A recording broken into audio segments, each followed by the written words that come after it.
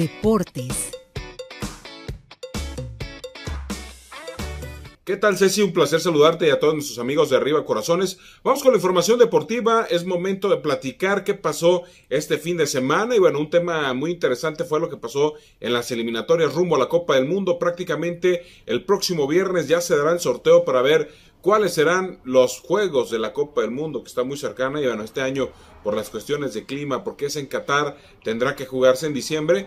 Pero ayer se llevaron las eliminatorias aquí en la CONCACAF, en nuestra zona. La selección de Canadá ganó cuatro goles por cero a Jamaica y con ello es la primer clasificada ya a la Copa del Mundo de parte de esta zona. Canadá ya está en la Copa del Mundo después de muchos años. Un equipo que ha trabajado muy bien y desde el principio de las eliminatorias el director técnico de El Salvador dijo México será el líder, pero el que mejor juega es Canadá y así terminó y así va a terminar siendo el líder de esta confederación. El Salvador, El Salvador empató con Costa Rica, eh, perdió con Costa Rica dos goles por uno. Costa Rica que también prácticamente con esa victoria amarra su reclasificación, estará en la reclasificación, salvo que México cometa un error en el último partido. Costa Rica se va a quedar con la clasificación. Hay una diferencia de tres puntos, tendría que perder México y una diferencia de tres goles, ya sea que México pierda 2-0, que Costa Rica gane 3-0, pero debe haber una diferencia de tres goles para que Costa Rica pueda superar a México y que México pierda. Eso es eh, principalmente. Estados Unidos no tuvo piedad, ganó cinco goles por uno a Panamá y con esa derrota Panamá se despidió de la Copa del Mundo. Creo que es una selección que merecía más, pero no anotaba gol en el momento importante y por eso Panamá quedará fuera de la Copa del Mundo. Y México ayer sufrido. Sufrido gana 1 por 0. Muchos han criticado esta generación, muchos critican lo que pasa con México, pero bueno, fue complicado el panorama de jugar contra prácticamente nueve defensas. No pudo abrir este bastión la selección mexicana que califica prácticamente amarra un pase ya sea a la reclasificación o a la siguiente ronda de la Copa del Mundo, pero sí se ve complicado, se ve complicado el panorama para la selección rumbo a esa Copa del Mundo que tendrá que cerrar el próximo miércoles se cierra ya la jornada. México tendrá que recibir al Salvador, que es uno de los peores equipos de la eliminatoria. El Salvador le ha costado mucho trabajo. También creo que tiene algo como Panamá. Es una selección que juega bien, pero no logra concretar sus jugadas. Está en una zona de aprendizaje. Creo que El Salvador para la próxima eliminatoria podría pensar en ir a una Copa del Mundo. Costa Rica enfrentará a Estados Unidos. Ahí es lo complicado para Costa Rica. El enfrentar a un Estados Unidos este, es una selección aferrada que no da ningún partido por perdido. Jamaica contra Honduras, un partido que si no se juega no pasa nada, ya las dos selecciones están prácticamente eliminadas, lo decíamos México, El Salvador y Panamá contra Canadá. Son los partidos que cierran la eliminatoria, la eliminatoria rumbo a la Copa del Mundo. Prácticamente ya de aquí al miércoles, el miércoles se definirán todas las selecciones que van a ir a la Copa del Mundo y ya con eso, con eso damos paso al viernes al próximo sorteo, el sorteo que se dará para definir cuáles serán los equipos, cómo se jugarán, cuáles serán los grupos para la Copa del Mundo. Sí, el próximo viernes ya es el sorteo, se acerca, se acerca el torneo más importante del fútbol a nivel mundial y uno de los torneos más importantes eh, también en cualquier deporte que es la Copa del Mundo en Qatar. Y vamos a cambiar de información porque en la Fórmula 1, y hablando de Qatar, en Arabia Saudita se llevó el Gran Premio de la Fórmula 1, donde Checo Pérez hizo su primer pole position en la historia, la primera para un mexicano, hace historia, sigue haciendo historia Checo Pérez. Su resultado en la carrera llegó como cuarto lugar, pero ya sabemos que él está trabajando para su compañero Verstappen, que se llevó el primer lugar, y con eso Verstappen es el líder de la competencia en dos carreras. Ahí va caminando el equipo de Red Bull.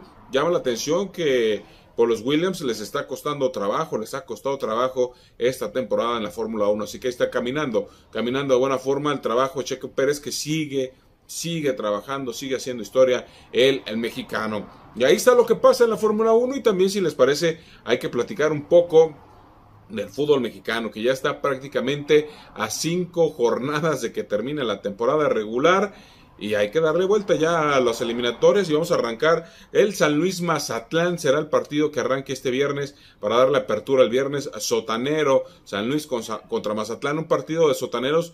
Dos equipos que han trabajado muy interesante. Me parece que hay que ponerles atención tanto San Luis como Mazatlán. A su nivel puede ser un partido atractivo. En el nombre, en el nombre me parece que es para dormirse, pero a los que les gusta el fútbol creo que es un partido muy atractivo. Cruz Azul enfrenta a los rojinegros del Atlas. Se viene una prueba interesante para el campeón del fútbol mexicano, el Atlas. Los dos últimos campeones del fútbol mexicano se enfrentarán este fin de semana. Un partido me parece muy, muy interesante. Las propuestas de ambos equipos no son ofensivas, pero creo que será en el papel el partido más atractivo de la jornada, viendo a los últimos campeones del fútbol mexicano. Otro partido interesante será el Necaxa recibiendo a las Águilas del América. Este duelo también en sábado, Necaxa contra las Águilas del América. También partido atractivo para todos los fanáticos del fútbol. Necaxa viene de una victoria interesante y el América que no ha levantado las alas este torneo le está costando mucho trabajo y bueno, ahí deriva lo interesante que puede ser el partido. Necaxa contrató a un entrenador interesante, Lozano, que ha levantado, y del otro lado Ortiz,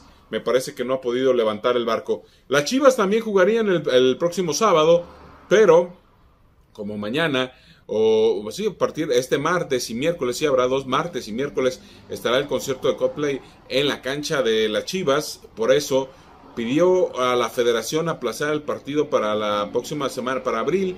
13 de abril es la semana que tentativamente estaría jugando el equipo del Guadalajara este partido contra los Rayados del Monterrey, porque la cancha va a quedar muy dañada. Creo que el equipo lo pueden levantar, pero me parece que la mayor, problemática es que la cancha puede quedar dañada. Chivas podría tener la opción de irse al Estadio Jalisco a jugar este sábado, es propietario accionista del Estadio Jalisco, pero prefirió aplazar el partido. Mal y de malas las Chivas, bueno, malos cálculos para esta jornada, no se imaginaron que les iba a tocar jugar de local y tendrán que aplazar el partido al equipo de Guadalajara que no sabe ganar, es como las plumas esas Vic que no sabían fallar, pues las Chivas no saben ganar. Así termina esta situación, este momento deportivo y ya estaremos platicando la próxima semana de lo que se viene, lo que se viene para o el próximo viernes ya de lo que se viene, adelantaremos lo que habrá de deportes para este fin de semana y también hablaremos un poco un poco de lucha libre. Así que está la información deportiva, deportiva. Regresamos a los micrófonos al estudio con más información. Deportes